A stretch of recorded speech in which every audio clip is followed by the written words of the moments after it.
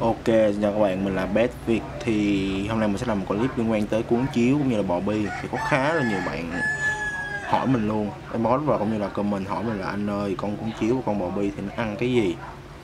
Và nuôi nó có dễ không? Thì hôm nay mình cho các bạn xem. Thì thật sự con cuốn chiếu và con bò bi á là nó ăn tạp. Về mặt là nó ăn tạp luôn, nó ăn cả rau nè Nó ăn cả xác nè, nó ăn cả thịt. Nói chung là nó ăn những cái gì mà có thể tiêu hóa được nó giống như mình thôi mình có thể ăn rau ăn cá ăn thịt nó cũng vậy thôi.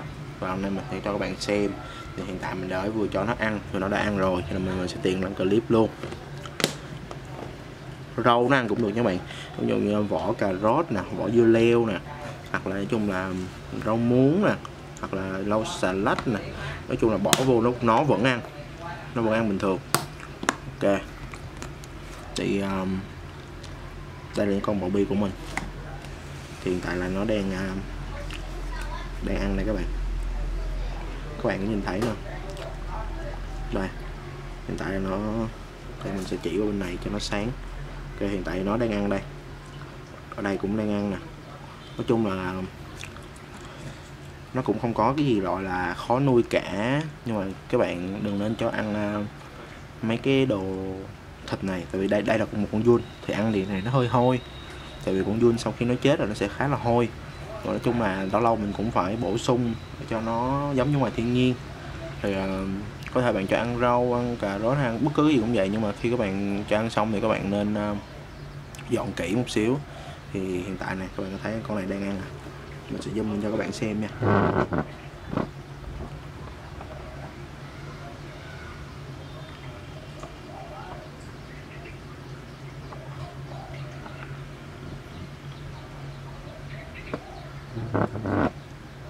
Đây các bạn thấy không? Nó đang đang ăn rất là ngon luôn. Và um, cũng nên lưu ý là khi bạn nuôi á thì các bạn nên giữ một cái nó một cái độ ẩm cao cao một xíu tại vì những con này nó ưa ẩm. Nếu mà các bạn có một cái nền lá nhé sau rồi các bạn uh, lá cây khô á các bạn xịt ẩm lên đó thì ok rất là đẹp luôn. Và những viên đá viên sỏi hoặc là có thể là bỏ thêm một ít um, cây khô những cái cây mà nó gọi là mục tình trạng gọi là mục nha các bạn. Đó thì các bạn có thể bỏ vô và ok rất là đẹp luôn. Đó. thì ở đây mình có vài con. Thì hiện tại con này đang ăn rất là hăng say. Thì bên kia cũng có mấy con đang ăn rất là hăng say. Đây mình sẽ quay qua đó cho các bạn xem.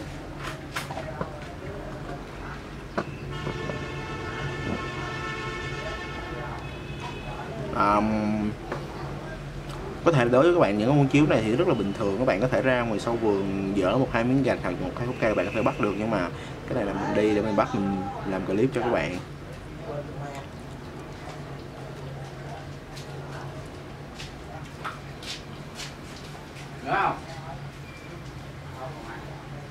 Đó, cho nên là đây là những cái um, con mình đã đi trong chuyến đi rừng mình bắt được. Mình bắt có vài con thôi thật sự nó rất là nhiều luôn các bạn. Nhưng mà mình chỉ bắt vài con thôi như mười mấy con thì phải. Ok, thì con này nó đã rất no rồi sao á? Ok, tới lượt con này.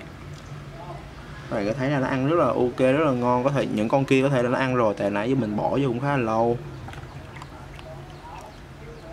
Hoặc là những, còn những con thì nó chưa có nghĩa là chưa có biết á. Đó, nó còn đang ăn bình thường. Nó ăn thịt nè, ăn rau nè.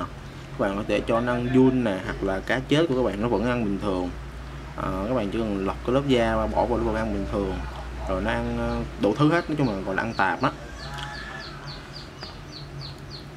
ok cảm ơn các bạn đã xem. Chúc các bạn có một ngày thật là vui vẻ. Mình là bé Việt.